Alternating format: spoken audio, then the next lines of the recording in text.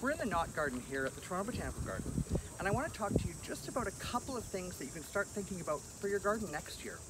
If you've got some annuals that you really, really like, and you want to make sure you get some seed for next year, now's the time to think about that.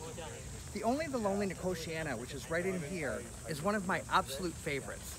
It's super fragrant at night, it's white, it's tall, it's stately, form, everything about it I love. So I made sure my first year here, we had some in the garden. I'm gonna talk to you a little bit about seed saving so that you can do this for your garden next year. When you have a scape, some of them have started to turn brown and they're split open at the end. So that means they're ready. So I would pick that off and you can see there's hundreds of seeds in just that one. And if you look across here, there's hundreds of them. So you really can get way more than you'll ever need. Share some with your friends or your kids or your grandma. Uh, so I would then take these seeds I'd set them in a bowl in the kitchen just to dry out for probably a day or two. You want to make sure before you store them there's no moisture in there. I'll put them in a little baggie, label it, and throw it into my refrigerator to keep it fresh for the winter.